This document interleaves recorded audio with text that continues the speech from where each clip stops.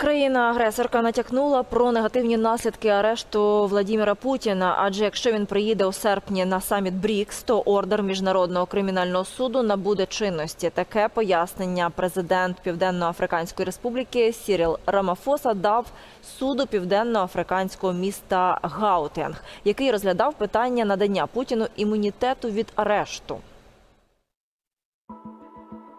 Росія чітко дала зрозуміти, що арешт її чинного президента був би оголошенням війни.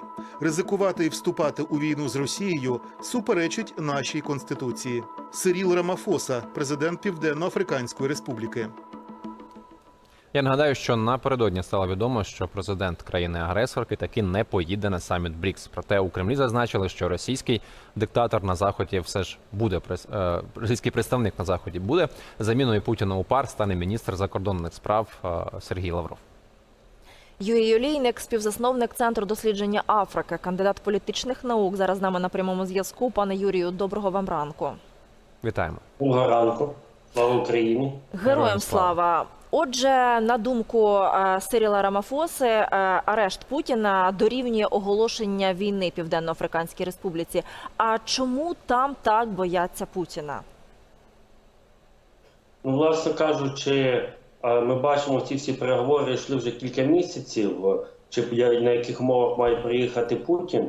І для нього це важливо було показати, що якось ще Росія залишається впливовою у світі, якось ще в неї є можливості збирати на глобальному півдні е, ряд країн, зокрема ці країни БРІКС, Бразилія, Індія, е, Росія Китай. Але через е, те, що е, пар о, підписала цей е, статут римський, вона була змушена і. А якщо навіть не змушена, то було б дуже добре, що вона його виконувала. А саме арешт цих злочинців, є, щодо яких є відповідні рішення, і тому вони хотіли зберегти лице. Але наскільки був великий тиск, ми бачимо російський, можливо, не напряму, як Рамофоса каже, не напряму давалося такі погрози, але ті погрози були очевидними, що вони демонстрували, що будуть наслідки, і по суті факт оголошення війни як затримання лідера країни. І ми звичайно все це дуже змінюється. Ми бачимо, що вчора е, Росія сказала, здається остаточно, що все-таки буде онлайн Путін, але звичайно це і для нього втрата, і для е, е, взагалі для Росії те, що він змушений був е, прогинатися, умовно кажучи, під міжнародне право. А пар боїться, чому, е, звісно, е, для неї Росія була і залишається досить таки важливим партнером політичним.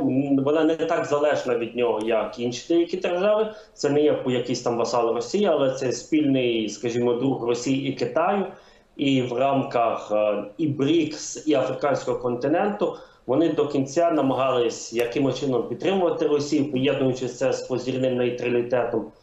Але очевидно, е, неправильна російська політика щодо навіть своїх партнерів, союзників і нейтральних держав показує е, наскільки вона роздратовує навіть інші держави. І дуже взагалі символічно, що е, вони претендують на якесь там глобальне лідерство Росія, глобальний порядок, але ну, опустилися до оголошення майже війни не просто одному з партнерів своїх е, в регіоні, але й нагадаю, пар це та сама країна, яка е, колись е, за часів апартеїду є певні дані. Вона також розробляла ядерну зброю. Е, ну, на великих там кількостях е, навіть були якісь випробування, але на початку 90-х вона теж ну не, е, неофіційно це було на такому рівні, як з Україною, бо був зовсім маленький арсенал, але також відмовилась від цієї зброї. Тобто, це був би такий факт, що вже на другу країну у світі, яка пройшла оцю від, е, відмову від е, ядерного зброєння. Ядерна держава найбільша, нібито гарант спокою, як вона себе називає на планеті, е, починає нападати. Що є було б дуже символічно.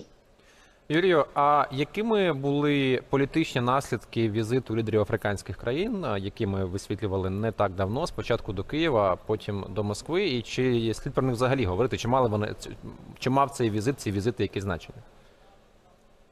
Ну знову ж таки, оці візити вони проходили в руслі кількох напрямків. Перш за все, це там вирішення е, миру на умовах більше близьких до, до китайських вимог, тобто замороження на існуючих позиціях. Вони намагались також показати свій нібито нейтралітет, але були суто інтереси африканських держав, зокрема пари, яка претендує на лідерство в регіоні.